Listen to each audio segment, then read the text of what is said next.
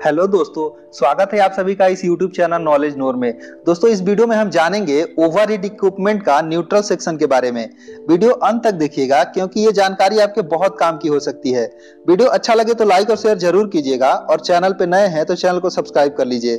दोस्तों इलेक्ट्रिसिटी जब power plant से जनरेट की जाती है तो वह थ्री फ़ेज़ की होती है, जिसमें प्रत्येक फ़ेज़ के बीच फ़ेज़ एंगल 120 डिग्री का होता है। पावर सप्लाई की यूटिलिटी इस तरह से की जाती है कि प्रत्येक फ़ेज़ में इक्वल लोड हो। ऐसा नहीं होता कि सिर्फ़ एक फ़ेज़ पर हम लोड को कनेक्ट कर दें और बाकी फ़ेज़ यूज़ में ना हो। ऐसा करने से ट्रांसफार्मर पर ज़्यादा लोड आएगा, जिससे वह खराब हो जाएँगे। इसलिए तीनों फ़ेज़ से थोड़ी थोड़ी दूरी पर सप्लाई लिया जाता है।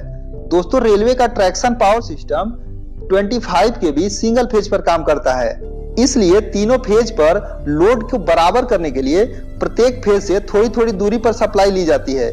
इसके लिए रेलवे के ट्रैक के किनारे सब स्टेशन बनाए जाते हैं, जहाँ पर फ़ेज़ को चेंज किया जाता है। जिस जगह पर फ़ेज़ को चेंज किया जाता है, वहाँ दो फ़ेज़ एक दूसरे से इंसुलेटेड होते हैं या डिसकनेक्टेड होते हैं, जिसे कि ओवरहेड का न्यूट्रल सेक्शन बोला जाता है। यहाँ पर दो अलग अलग सब स्टेशन से सप्लाई आकर मिलती है। इस पॉइंट पर थोड़ी देर के लिए लोकोमोटिव की सप्लाई कट हो जाती है, क्योंकि दोनों वायर एक दूसरे से जुड़े नहीं होते हैं। यह न्यूट्रल सेक्शन प्रत्येक 30 से 40 किलोमीटर की दूरी पर बनाया जाता है, और ऐसी प्रोबेबिलिटी एक्सपेक्टेड की जाती है कि इस पर्टिकुलर जोन में इक्वल ट्रेन इंटर करे, ताकि पावर का यूटिलाइजेशन अनबैलेंस ना हो। जब लोकोमोटिव रनिंग कंडीशन में इस डेड जोन को क्रॉस करके लाइव जोन में इंटर करती है, तब फ्लैश ओवर होने का चांस रहता है।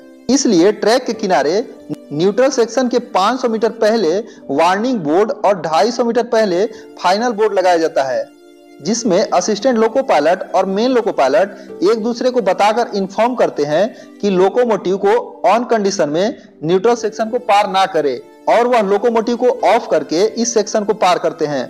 दोस्तों, लोकोमोटिव को इस न्यूट्रल सेक्शन पे ट्रिप होना पड़ता है इसलिए इसे ऐसे लोकेशन पर बनाया जाता है जहाँ ट्रैक पूरी सीधी हो, वहाँ कोई स्टॉप सिग्नल या क्रॉसिंग ना हो, या कोई अप ग्रेडियंट या डाउन ग्रेडियंट या कर्व ना हो। न्यूट्रल सेक्शन तीन टाइप के होते हैं।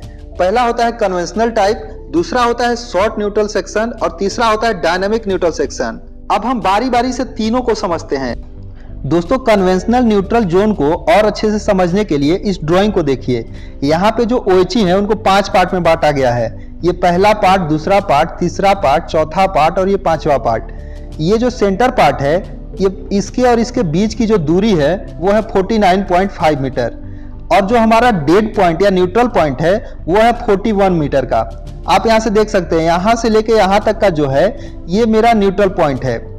यहाँ पे ये जो येलो कलर का डॉटेड लाइन देख रहे हैं, ये कोई अलग फ़ेज़ है जो कि किसी दूसरे सब स्टेशन से आया है और ये जो ब्लू कलर का डॉटेड लाइन है, ये कोई अलग फ़ेज़ है जो कि दूसरे सब स्टेशन से लाया है।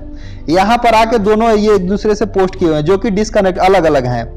जब लोकोमोटिव इधर से चलेगी तो यहाँ से ओ e से कांटेक्ट बनाते हुए यहाँ तक पहुँचेगी। यहाँ तक पहुँचने के बाद लोकोमोटिव जो है डेड कंडीशन में या डेड सेक्शन में पार करेगी। यहाँ पर कोई भी सप्लाई नहीं रहता है। मतलब कि यहाँ से जो येलो कलर का आप देख रहे हैं, ये, इसके बाद ओ e का जो संपर्क है, वो डिसकनेक्ट हो जाएगा। यहाँ से ये पूरी डिस्कनेक्ट पार्ट है। उसके बाद जब इधर क्रॉस करेगी तो इस ब्लू वाले यहाँ से आकर, इस ब्लू वाले सेक्शन में लाइव सेक्शन में ये पहुँच जाएगा। मतलब कि लोकोमोटिव यहाँ इससे कनेक्ट हो जाएँगे। तो इस तरह से देख सकते हैं, ये जो बीच की दूरी है, ये इतना बड़ा डेड सेक्शन होता है। इस 41 मीटर लंबाई वाले न्यूट्रल सेक्शन का डिज़ाइन जब तीन लोकोमोटिव को अटैच किया जाता है, तब के लिए बनाया गया है।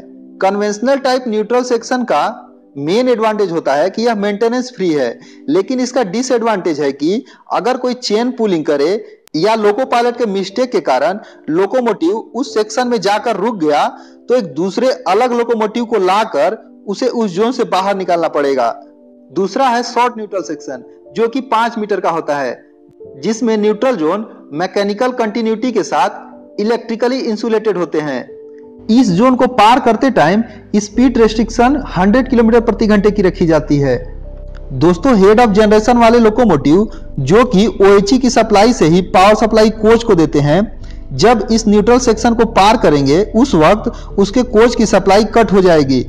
इसके लिए कोच में बैटरी से या एक्स्ट्रा डीजी के द्वारा सप्लाई को कंटिन्यू रखी जाती है, जिससे एसी कोच में ओनली ब्लोअर और लाइट को चलाया जा सके।